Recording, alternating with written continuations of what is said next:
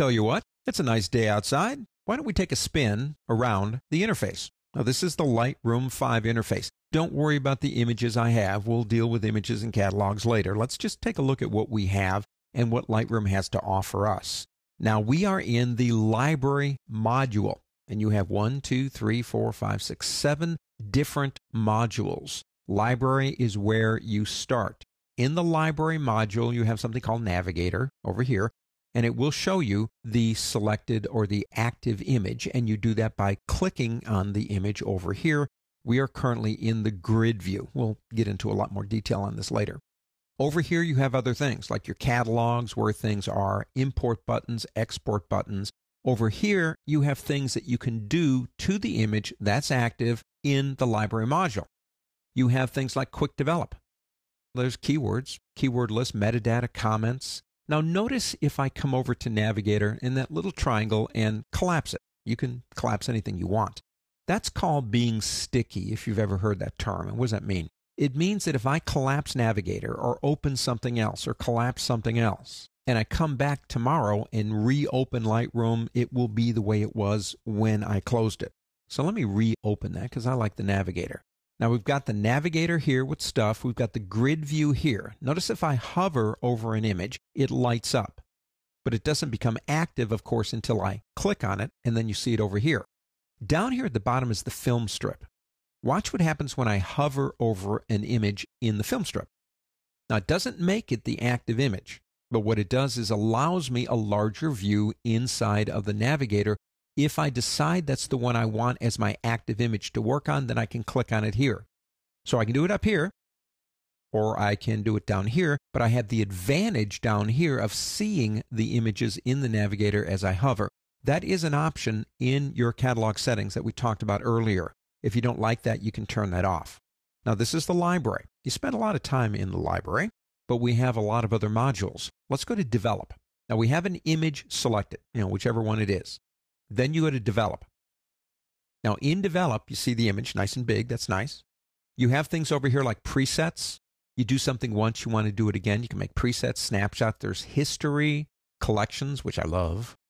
Over here is all the stuff you can do. And look at all the stuff.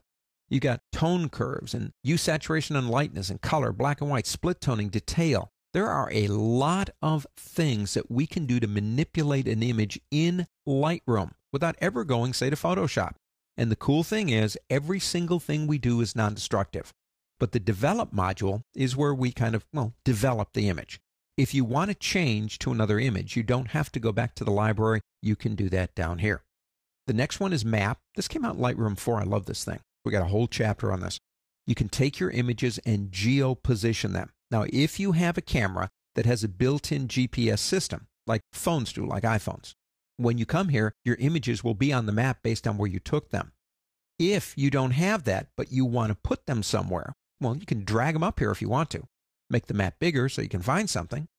But let's say, for example, this photo right here was taken outside of London, and I can actually blow up the United Kingdom over here until I get to the exact street and even see the house. That's a uh, Google map, and actually drop it right on top if I want to. I love this feature. It is really cool. And like I said, if you have a GPS enabled camera, it does it automatically. There are some new features in Book. Now, I've written 17 books, not photo books. But let's say I want a photo book of my stuff. I come here to do it. And there's a lot of different layouts we can use. We can choose the images down here and add them up here. Again, we'll spend a whole chapter on this. We have slideshow. There's some new features here too. Now, here's where this comes in the identity plate. It says Lightroom 5 up here. See it here? I mentioned earlier in the chapter on preferences why you might want to change that, and I would mention it to you later. This is your slideshow. You're showing your images to your clients on whether they're going to buy them or not, and that says up there your name, not Lightroom 5. That would be one of the reasons I would change the identity plate. Next one over is print. Now, print is, I suppose, pretty straightforward if your goal is to take a photograph and print it. But there are a lot of really cool features in here. Print resolution changes, print sharpening, lots of different things you can do, even changing the format over here.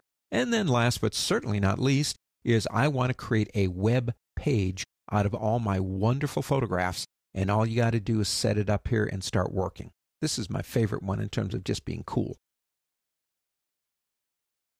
You click on them, and they get bigger. Now, that's exactly how the page would function if it was on your website. So, from library to web, those are the different modules in Lightroom. We select our images. Maybe we want to do something simple. We stay in the library. But then we've got develop, maps, books, slideshows, prints, and webs to do all kinds of other things. And you're never leaving Lightroom.